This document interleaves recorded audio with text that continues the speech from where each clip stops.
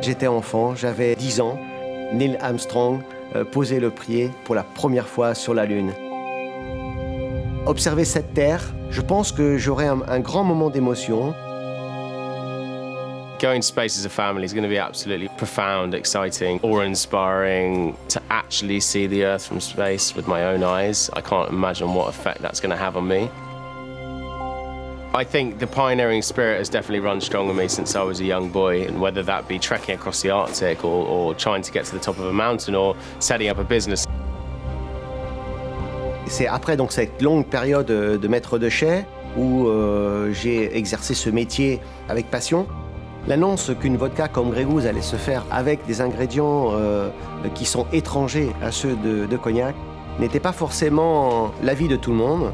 Et c'est vrai que j'ai été considéré comme un, un franc-tireur, si j'ose dire. The adventures that I've done in my life have shaped the man who I am. If you can sort of defy your own belief of where you know you think you can get to and what you can achieve, then that only encourages you to move further and further.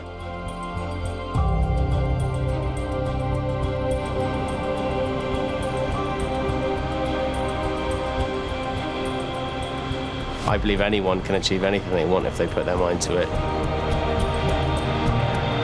Going to space takes collaboration on all fronts. If we can pioneer space travel um, by collaborating, then that is something really exciting. Ce sont mes valeurs euh, concernant Grey Goose et ce sont les valeurs de Virgin. C'est euh, voler au-delà. 5, 4, 3,